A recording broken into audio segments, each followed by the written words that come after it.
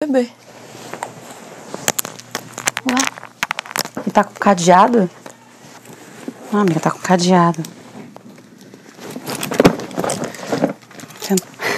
Vocês estão aprontando.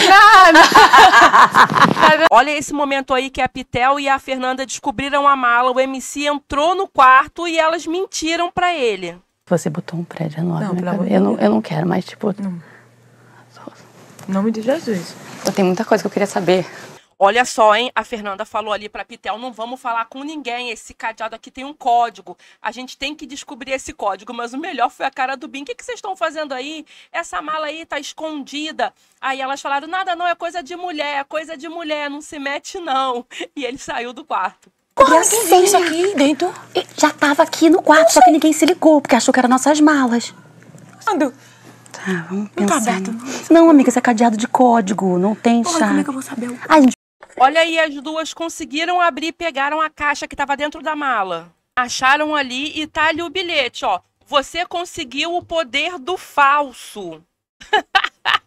poder de coisa nenhuma, porque esse daí não vale nada, gente. Lembrando, não vale nada no BBB 24 ao vivo.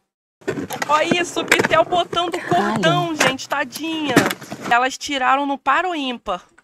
Foi no par ou ímpar ali que a Fernanda e a Leide decidiram. Aí a, a Pitel ganhou a, o tal do paro ímpar, foi lá toda orgulhosa, meteu-lhe o, o cordão no pescoço e ficou toda animada. Elas falaram: não, não vamos falar pra ninguém que, que é isso, não, deixa quieto, deixa quieto. No dia que for abrir, não vai ter raio nenhum, porque isso daí foi uma trollagem do Boninho, que aliás quase não deu certo no Big Brother Brasil ao vivo, porque ninguém descobriu. Faz horas que a mala tá dentro do quarto gnomo e agora foi que a Fernanda e a Pitel chegaram lá pra descobrir, né?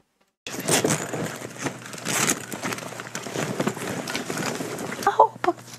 Falta uma camisa, alguma coisa. Mas eu acho que é pra eu vou perguntar. Para de rir, Pitel. Vocês estão aprontando. E olha aí o momento que o MC entrou de novo no quarto e começou a falar: "Eu conheço meu povo, onde tem fogo tem fumaça". Ele tá super desconfiado de que elas viram alguma coisa. E a Pitel falou que não vai mesmo contar pra ninguém, vai entrar no confessionário e vai sair com o colar fingindo que foi entregue pra ela lá dentro do confessionário, pra fazer o povo todo de besta.